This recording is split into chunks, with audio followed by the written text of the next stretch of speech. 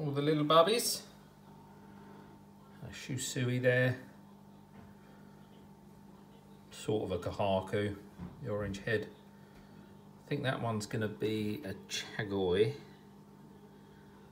God knows what all the others are, but what I'm doing is the reason for this is, you'll see the thermometer in there.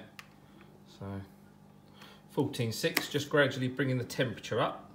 The reason for it, these are all the small, small babies. So my outdoor grow on, or quarantine if you like, um, with the Alecchi bills and that going through the roof, I'm trying to cut down on what I'm using. So the actual grow ons, which I'll show you now, just turn the pump off. There is food in there.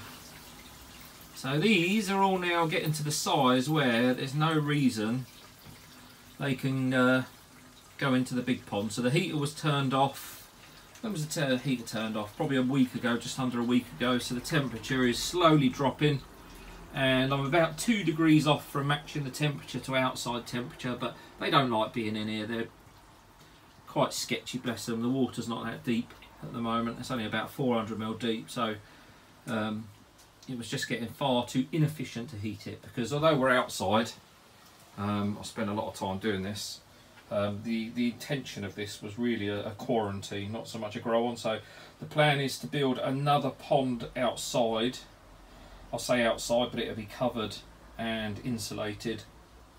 So it'll sort of be indoors, but yeah, none of this in here is insulated. So honestly, when I say it's as cold in here as it is outside, it bloody well is. So uh, won't be needing this anymore. So anybody looking for an indoor grow on. So this is the Spider Farmer 38 watt. And these have been brilliant. I noticed such a difference in growth and colour. Um, so that's going to be up for sale. I think they're about 70, 80 quid new. So open to offers. I could do actually. Someone could win this, couldn't they? Ah, that would be good. Uh, filters are decommissioned anyway because I need the bits for the sieve, so that's quite handy. I've taken some media off. I've stolen a pair of tights off my uh, off the wife and cut them up because some of the media has gone into what I'm about to show you. So Obviously, these are big enough to go in the pond. Let's flick the pump back on. Right there, Ted. You've been a good boy. Being a good boy. Uh-oh, here comes trouble. Here comes trouble. Kiss, kiss. Kiss. Kiss. Kiss.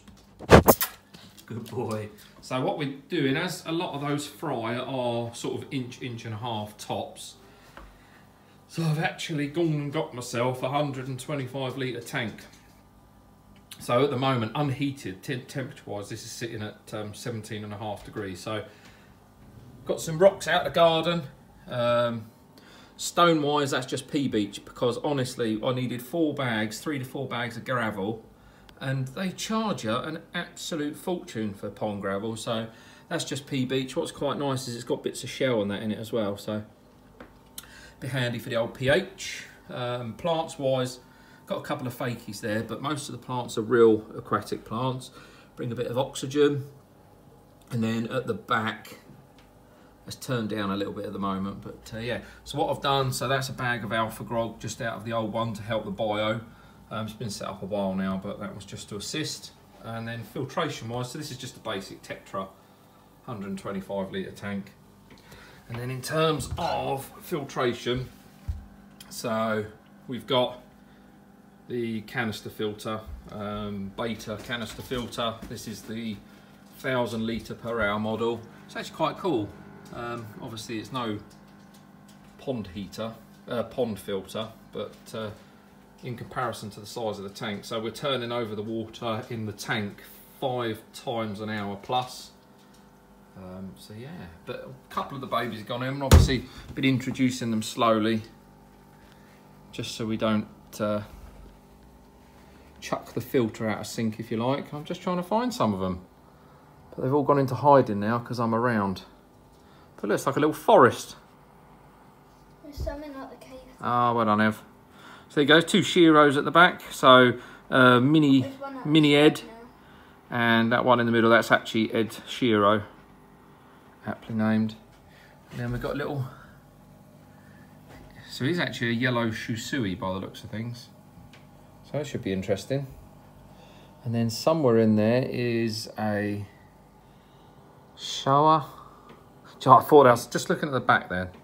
I don't know if that picks up on the camera, but it looked like a dead koi, which was a bit depressing, but it's not, it's a leaf. Thankfully, there is. So one of the larger grow-ons, um, he's not grown much, so you can just see him. He's in there in the plants, but all, they are a bit sketchy. They've gone from being in a big tank, but he's about three inches long, that one. So I'm going to see how he gets on in there, but hoping a bit of growth food, and then I'll be able to, uh, in the higher temperature, we'll be able to move him into the pond. But hello. It's actually really good fun watching them. Hello. Nope. But yeah, so he's um, he's one of the ones that hasn't grown on so well. But he's a, a dapper old colour, bless him. That's the a problem. Are best viewed from above, but uh, obviously seeing him in the tank is quite different. Just noticed a dirty bit of the tank there, look. That's going to bug the heck out of me. But uh, yeah, so we're just going to get, I'm just matching temperatures at the moment. So just over the next 10 minutes, quarter of an hour. And then we'll get these bad boys in, won't we, Ev? And we're having a jolly good old sort of sort out of house paperwork, which is always good fun. But yeah, so they're getting ready to go in.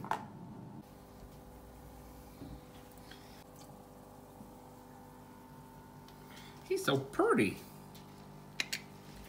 I don't know why I'm clicking. Not a dog. Hello.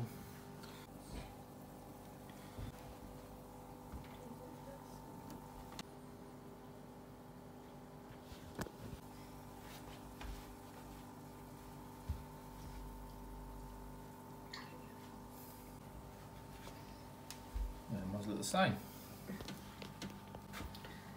So there we go. Everybody's in the new home.